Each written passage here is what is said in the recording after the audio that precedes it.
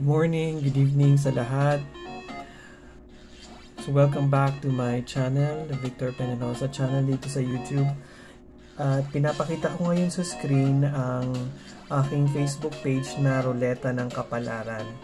Okay, so meron ulit tayong mga questions sa Roleta ng Kapalaran at ang gagawin nyo lang ay mag-comment. Uh, ang mga mag-comment ay kasali na kaagad sa raffle na gaganapin natin sa Sabado uh, 10.30pm dito rin sa Facebook page ng Roleta ng Kapalaran. Ipapakita ko sa inyo ang mga uh, tanong na kailangan nyong sagutin bago mag-Sabado. Sabado ay December 4. Kaya ang unang question dito ay eto, ha-highlight ko ha. Bagay ba sa'yo magjowa sa Pasko o mag-inuman na lang? Bakit? Okay, sa ngayon meron na itong 6, 15 comments.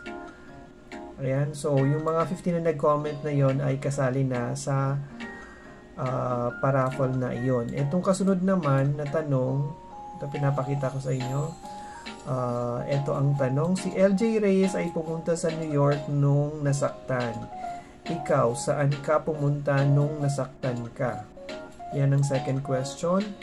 At sa ngayon ay meron na siyang 21 comments. Okay, may, may time ka pa para mag-comment.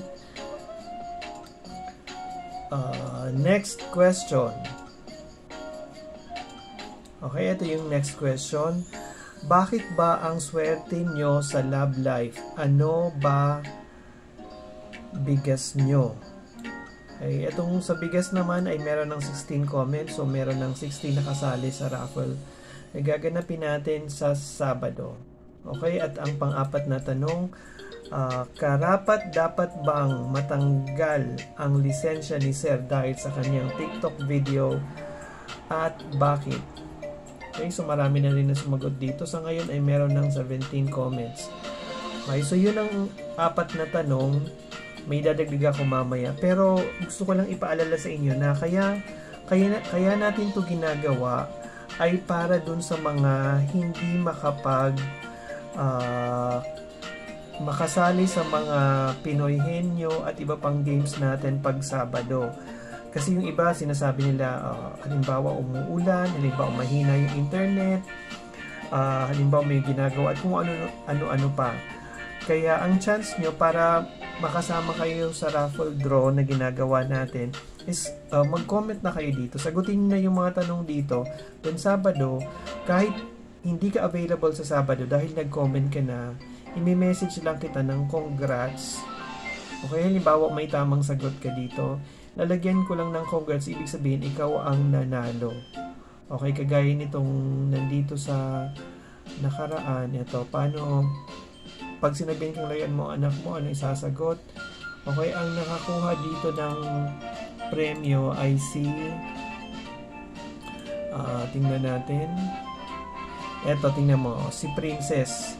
O eto si Princess hindi pa niya pinapadala ang kanyang uh, Gcash number pero mabuti na na ito napili natin. So Princess i-message mo sa akin ang iyong Gcash number at Gcash name. Ay sana mapanood to ni Princess. Pero nag-post na rin ako nung nakaraan na Princess i-message mo na sa akin ang iyong Gcash number. Okay? Nandito yan. Shout out, PM nyo sa akin ang iyong Gcash number. Thank si Princess tsaka si Emmanuel.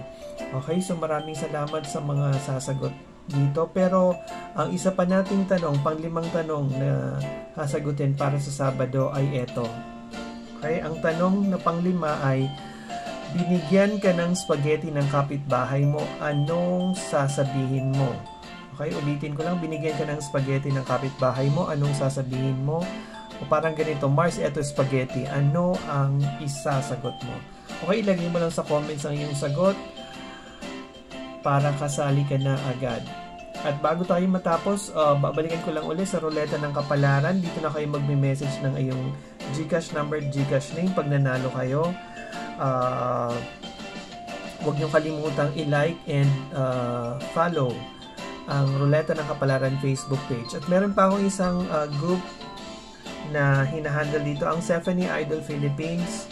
Okay, paki-like din at paki uh, join. Join lang pala ang gagamitin mo dito. Yun lang po. Maraming salamat and see you on Saturday. Bye-bye.